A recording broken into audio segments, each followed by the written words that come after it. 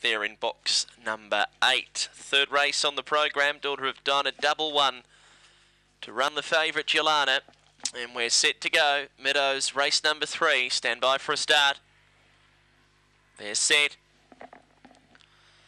and away. Jelana jumped well from the inside. Out wide, Dr. Liana away quickly, but Jelana's going to go through and lead Dr. Liana and Ballistic Yala up to third. Just wanting to switch over heels, and that left Jelana to really dash away. Led by five, Ballistic Yala. Six away, third, Why Not Caleb, Dr. Liana. Then Invictus Coco and Darnham Dasher last, but it's all Jelana. Out by five lengths to Ballistic Yala. There by six lengths then to Dr. Liana, but it's all Jelana. Well clear, and the Reg Rud's going to romp away. Jelana won it by five and a half Ballistic Yala, about seven lengths away third.